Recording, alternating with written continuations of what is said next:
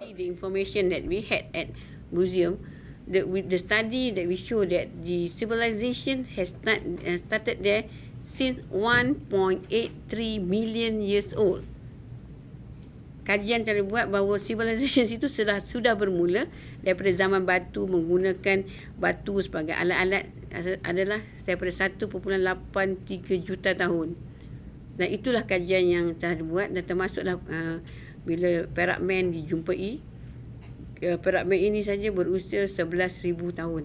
Uh, World Heritage Site ya, sebagai satu tapak warisan bertaraf dunia.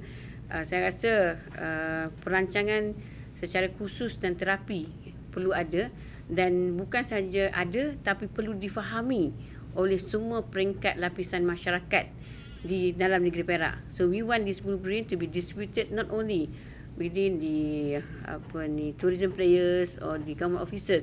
We want the people of Perak also must understand. Kerana kita tahu dalam hal pelancongan ini uh, yang paling penting adalah masyarakat setempat.